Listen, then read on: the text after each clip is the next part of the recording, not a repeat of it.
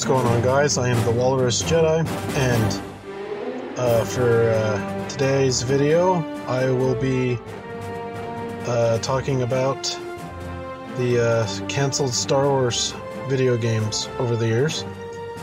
And uh, uh, there are, in this video, I'll be covering 32 games. Yeah, if you like this video, then please consider liking and subscribing for other Star Wars videos in the future. And uh, without further ado, let's get to the first game, which is Star Wars 1313. And uh, Star Wars 1313 is a uh, third person action adventure game which was developed and uh, published and was to be published by LucasArts for uh, Microsoft Windows, PS4, and Xbox One it would have been rated M, and uh, you would have played a younger Boba Fett on Coruscant on level 1313. The game takes place uh, starting at about 10 BBY, or, you know, before the Battle of Yavin, and goes to 5 BBY. And, uh, yeah, the player would have begun the game playing an unidentified bounty hunter who is killed by Boba Fett, and then you would play as him for the rest of the game, transferring or traversing Coruscant's notorious level 1313. You would have used various exotic weapons and uncover a criminal conspiracy. And this game was announced at Electronic Entertainment Expo, or E3, in June 2012. It was supposed to be in with the. It, it was supposed to tie in with the uh, Star Wars Underworld TV show that George Lucas was making.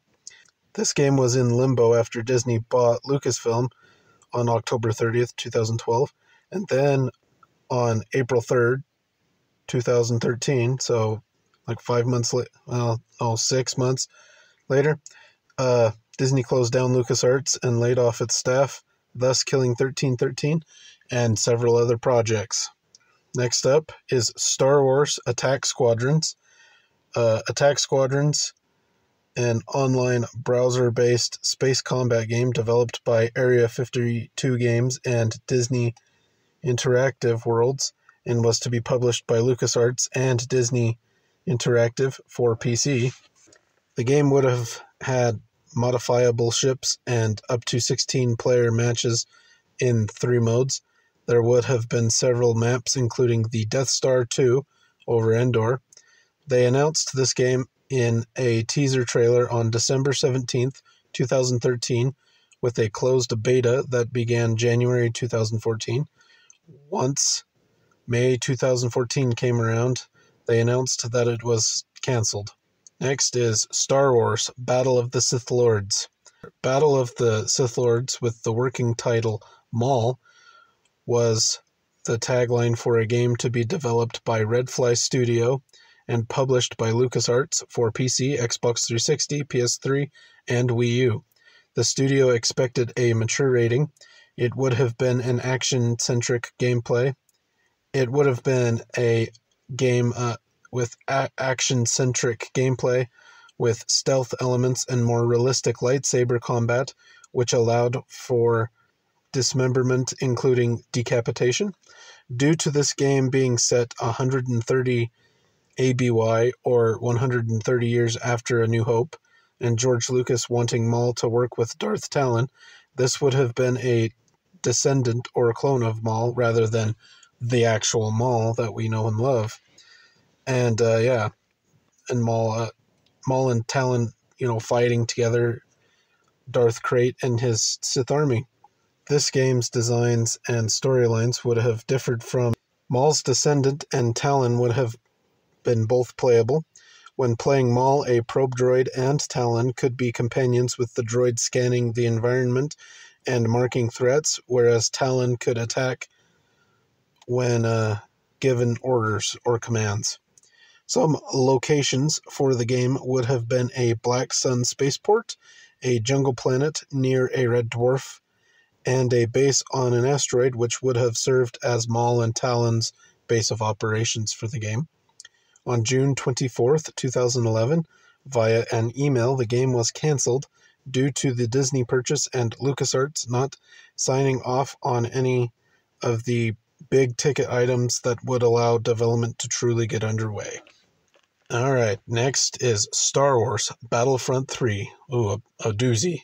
All right, Battlefront 3 was developed by Free Radical Design and supposed to be published by LucasArts, continuing to advance and grow from the previous two games in the Battlefront series. Uh, the third one would have allowed seamless transition from ground battles to space battles via taking off and landing ships. In 2006, LucasArts and Free Radical Design reacted or reached a deal to make Battlefront 3 with development starting that same year. It was to be more ambitious than its predecessors in scope and technologies. It was to be released in October 2008. By January 2008, Free Radical Design told LucasArts that they would be unable to have Battlefront 3 ready for release by October 2008, so they pushed the release date to April 2009. Several factors hindered development, such as new generation of consoles, uh, a need for bigger workforce, and changes in the game design. That same year saw changes to LucasArts management, and Free Radical was struggling to reach deadlines, leading to the deterioration of the publisher developer relationship. And then in the same month it was originally supposed to release, October of 2008, it was cancelled. Some assets created for Battlefront 3 were used in the Star Wars game uh, ba- Star Wars Battlefront Elite Squadron. And uh, next is Star Wars Dark Squadron. Dark Squadron was an action game to be developed by Factor 5 and published by LucasArts. It would have been a part of the Star Wars Rogue Squadron game series it would have had the player play the Empire, crushing the Rebels. It was cancelled due to LucasArts favoring the untitled Chewbacca game, which was also cancelled. Next is a Death Star game, which uh, was to be developed and published by LucasArts and released on the iOS. So it's a you know it's a mobile game, and uh, this would have allowed you to play the Death Star, I guess, fly around, blowing up planets and stuff. Next is Star Wars Episode 7 Shadows of the Sith. And uh, this would have allowed, uh, you would have been a, an adult Ben Skywalker struggles, struggling with the dark side and unleashed and unleashing a new force powers as he investigates a new threat to the galaxy, a member of House Solo. And uh, that's that's basically all the information on this game. There's no uh, who it was to be developed by and that. And uh, yeah. Next is Star Wars Return of the Jedi Ewok Adventure. Ewok Adventure was an action game to be published by Parker Brothers for the Atari 2600 and was scheduled for release November 1983.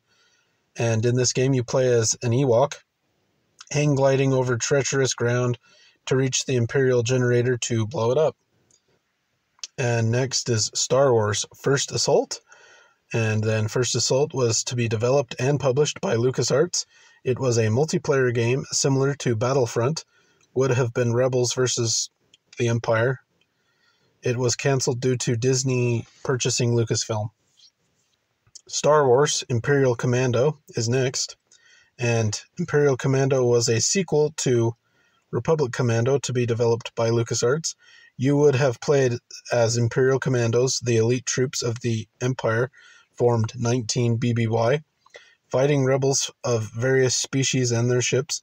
There was to be lightsaber wielding enemies as well that you would have encountered, and they never confirmed if you would have played Delta Squad in this game, uh, as um, you know, Delta Squad were Republic commandos, and at least uh, some of them would have still been there when the Republic became the Empire. So this game was canceled in 2004. And next is Star Wars Jedi Knight 3 Brink of Darkness.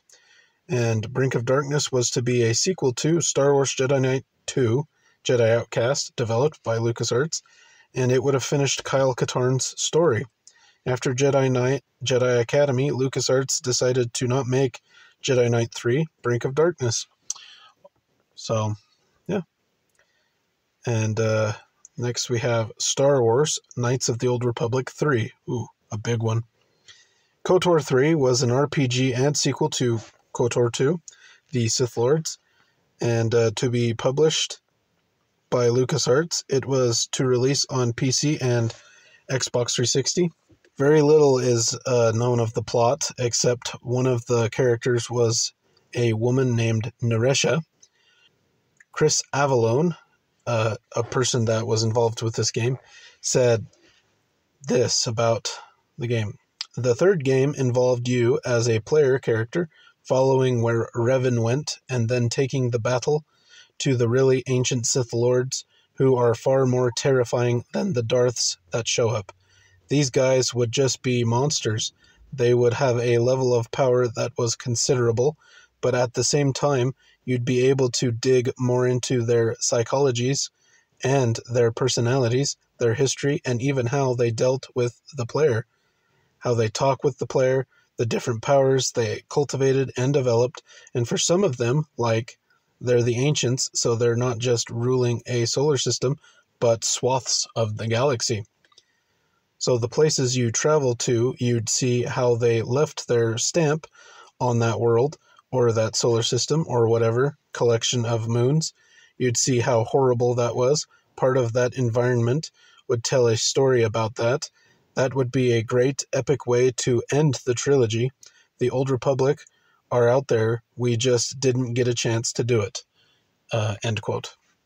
The game was canceled when LucasArts hit a rough patch in development and they had to cancel several projects, uh, you know, during the early 2000s, you know, 2004, 5, 6, that era. The 13th game is uh, The New Emperor. And uh, New Emperor was to be developed and published by LucasArts in the late 90s. The story set post Return of the Jedi, with rumors of the Empire naming a new emperor. C3PO was to be used as a spy. It was um, it was planned on joining real actors and blue screen technology for the story of this game, and uh, yeah, that's that's all the info on that one. Next is Star Wars Outpost. Outpost was to be developed and published by LucasArts. It was Star Wars' version of Farmville, a allowing the building of empires.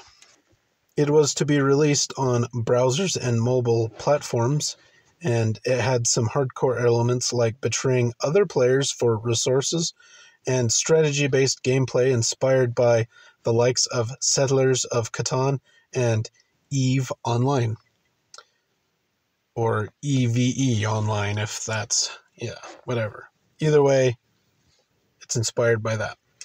And uh, next is Project Hermes, and this was a a game codenamed Project Hermes, and it was to be developed by Lucas Learning in the early 2000s. This was meant to serve as a sequel to Star Wars Super Bombad Racing.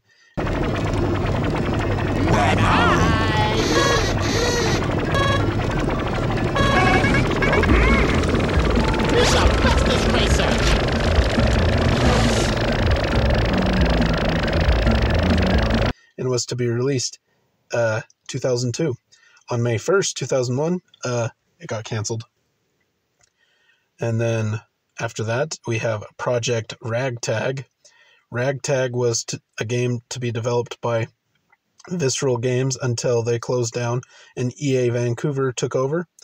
And it was to be published by the dreaded EA.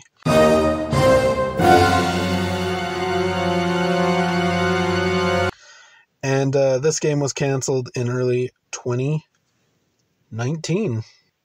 And next we have Proteus. Proteus was the working title of an MMO developed in house and would serve as the console only version of the game Star Wars Galaxies and Empire Divided, as that game was only on PCs. Like other MMOs, playable species like humans, Quarren and uh, Kel Dor, going off of concept art, uh, you know, those would have been playable characters.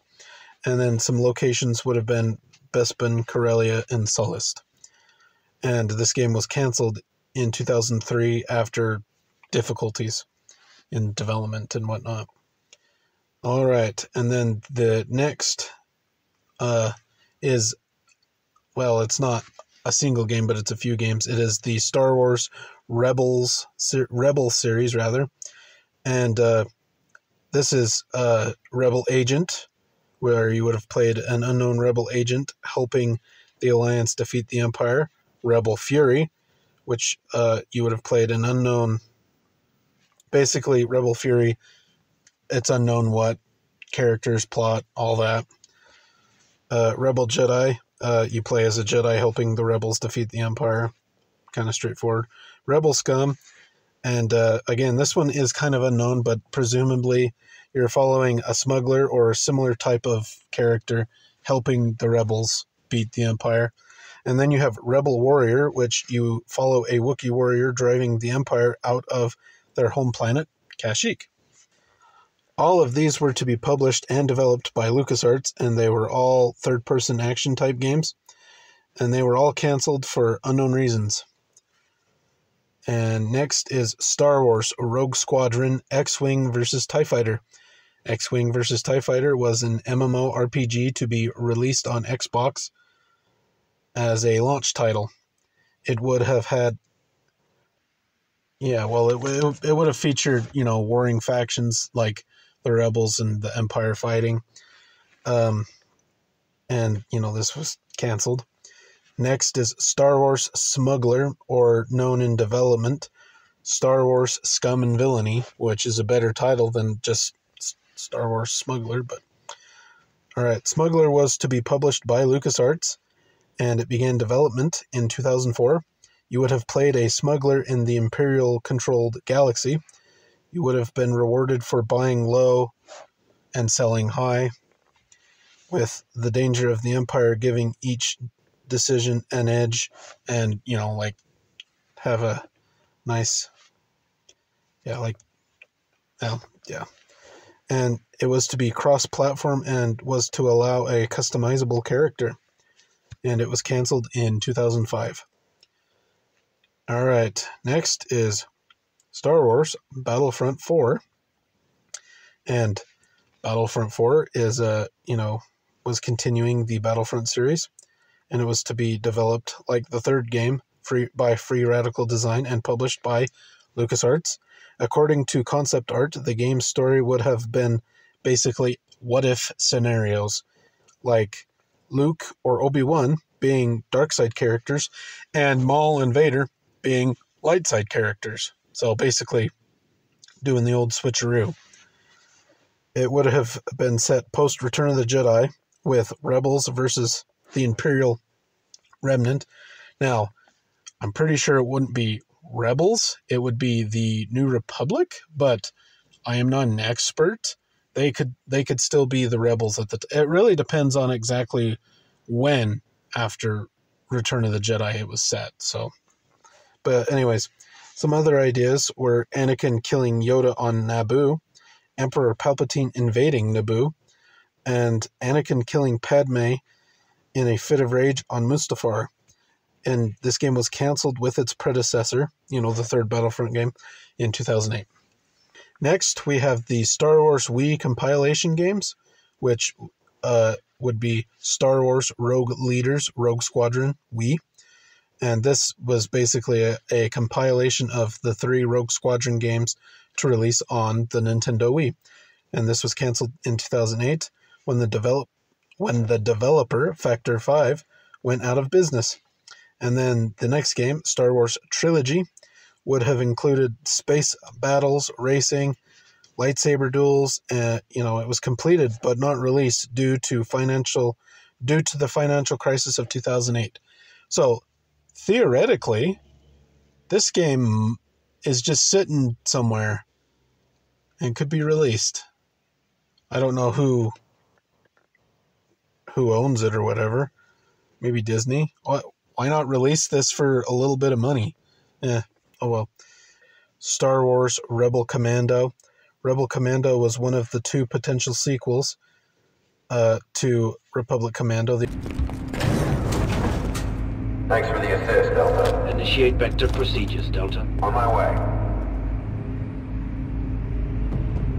being Imperial Commando, and it would have focused on Sev uh, of Delta Squad after he was rescued on Kashyyyk and worked for the rebels. So, and you know, it was canceled unknown reasons in that. And then the 29th game, uh, Star Wars The Force Unleashed 3. Force Unleashed 3 obviously is the sequel to The Force Unleashed 2, and it would have been the final installment of the series. It was to be developed and published by LucasArts. It would have released on the Wii U, PS4, and Xbox One. It was going to be more open world than the predecessors, and the story would have followed For Force Unleashed 2's story, where Boba Fett would follow and shoot down the Rogue Squadron over a planet, leading former Master and Apprentice Vader and Starkiller to team up to survive and escape. It would have been a co op game, so two players could have played together, one playing Starkiller and the other playing Vader.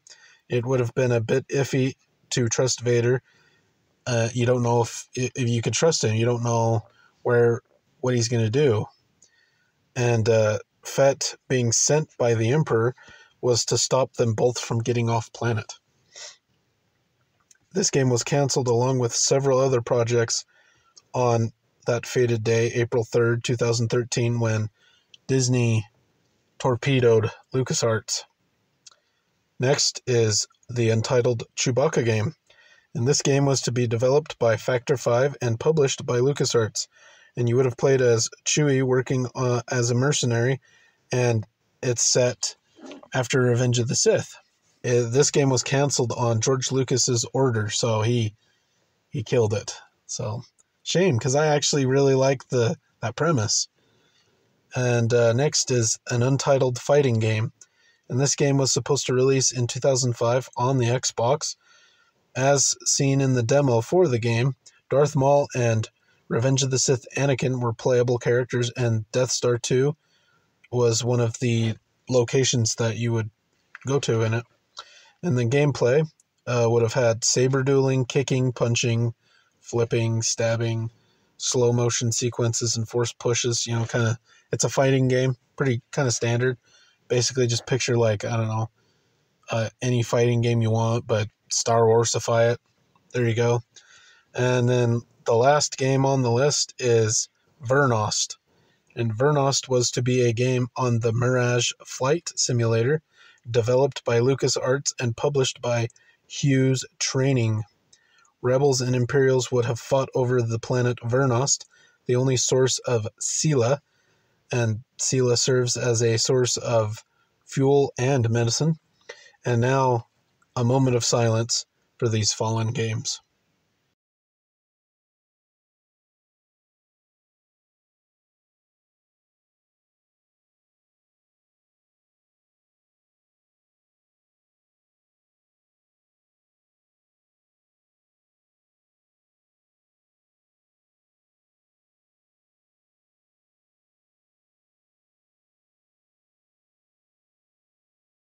Now, one game that I wish was made is, you know, Rebel Commando, um, where you you know you follow Sev, and uh, you you basically it kind of resolves the ending of Republic Commando, and and that would have been, uh, that would have been what I would have chose. Uh, but honestly, there's tons of games that should have been made on this list, and here's one game that I'm glad they didn't make and uh, that's the new emperor.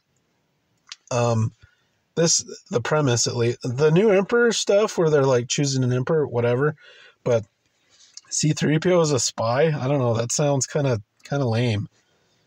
I don't know. Maybe it maybe as a short story or something, but not a video game that you would play. That sounds dull and boring. But yeah, so now uh my thoughts. Well, uh, there's a lot of a lot of games, and what's cool is it's it's variety. It's not just the same type of game. Yeah, there's a lot of kind of Battlefront type games on the list, but there's also KOTOR three. That's an RPG, and you know Force Unleashed three is is not a shooter and stuff. Yeah, but like all of these, there's a like at least half of them. I feel like should have got made. It's a shame. Like thirteen thirteen, the Battle of the Sith Lords. That sounded awesome. Even if it was a descendant of Darth Maul or clone or whatever, who cares? It, it just would have been cool to play as a video game, just have some fun. It doesn't have to be canon to the timeline. Like, it's a video game. Just have some fun.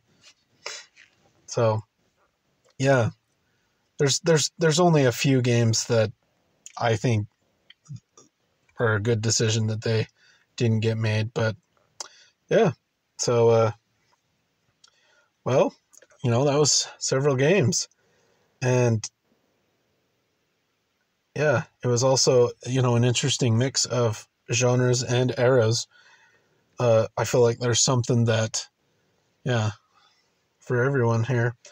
And there are a handful that really should have been made, as previously mentioned KOTOR 3, Force Unleashed 3. Um, and one thing that I would like to mention Battlefront 4 being like what if scenario like that I would have preferred that over Battlefront 3 just because it, I would have liked to see all the awesome cool you know what if scenarios. I think that's a fun idea for a game comic any any story. Like what ifs can be really fun. So you know and and there are a few that it's good that the that were never made, like Project Hermes, a sequel to Super Bombad Racing. Did it need a sequel? And it, I don't know, whatever. And uh, yeah, which games do you wish were made? And you know, are there any that you're glad weren't made? Um, and another question: Are there any Star Wars games that did get made that you wish weren't made? Uh, you can let me know in the comment section down below. Uh, don't forget to like and subscribe, and until next time, thanks for watching.